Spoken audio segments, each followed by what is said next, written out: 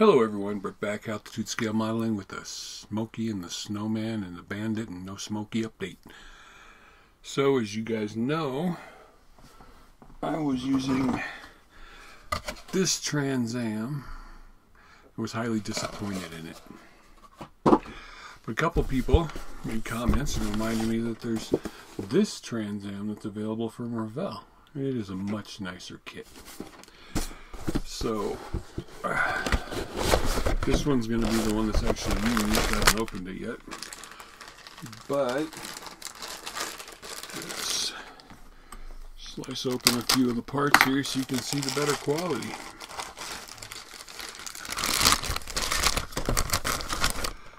There's the body, built-in spoiler, built-in hood vents. This one's also got built-in hood vents, but no spoiler. Same dimensions. This one has got a couple mold seams there, but it's a thicker and heavier plastic. The front spoiler parts are built into it. The rear wheel spoiler parts are built into it. Now, the front grille. The headlights are not part of the front grille. As this nastiness is. Still no gold, but that'll be easy to put in. There's the chrome dashboard bezel. Not nearly much flash. So, the windshield isn't messed up. The headlights are right there on top. The taillights are not red, but that'll be easy enough to take care of. And the tires, the actual kit tires, there's no logos on them, but they're better than the original kit tires. But I can still use those other ones. Now, there's a big step up. The decals. If you're familiar with this car, the decals are not, actually even shows it on there, the decals are not solid stripes. They're two stripes, a thick one and a thin one run together. This has those stripes. The thick one and the thin one run together. How you can see it. And the bird. compared to these decals, oh yeah. And you've got Georgia plates. B A N dash O N E, just like in the movie. This one's got the instrument clusters on it. This one's got the Trans Am logos on it, the 6.6 liter on it. This one has actually has the side marker lights if you want to use those. It's got your hubcap, center hubcap parts on it. So decals, big difference. And, you know, CB radios in this one.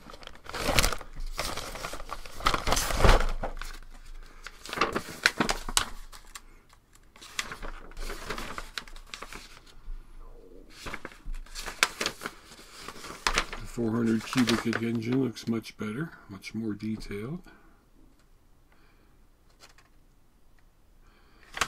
It's got the bandit hat.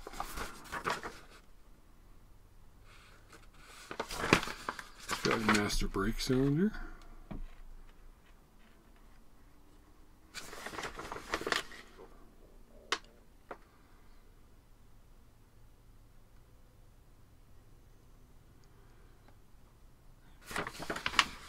Just looking to see where the CB is. Yep. CB radio right here goes right there, just like where it was in the movie car. I mean, all this does make sense considering this was modeled for the movie. But it's just such a much nicer kit. Much nicer, much more detailed. So anyway, I'm going to give you an update on that. I'll be starting that in a couple of days this right here. This. I'll be doing something with this other one. Don't know yet. And let me show you a couple things I'm working on. Hold on, let me change cameras.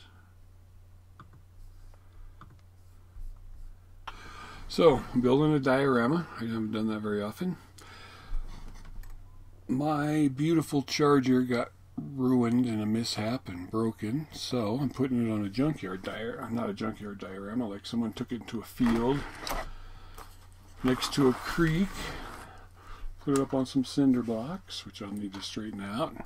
There's going to be some rust put on it, some moss put on it. There'll be a lot more plants on this. This is where the stream bed's going to be. I got the rocks put into it. So working on that. This is the JU88. Working on for Nigel's modeling bench build along. I just started decaling it as you can see from the bottom. Very nice decals, going together really well. And those are the current builds that are going on. And there's the update for the Bandit. And thank you all for watching. And I hope to see you again real soon. And stand by for... Uh, because I have not forgotten about this beautiful thing. This is going into the paint booth and getting filmed tomorrow. So be ready for that, all you Airfix B-17 lovers. Thanks for watching. Sit your ass at the bench like I am and start building things. This rock here, I was going to put in there, but way too big. I'm going to smash it into little rocks. Little rocks, tiny rocks. You know, when you live in the Rocky Mountains, rocks are not a problem. Thanks.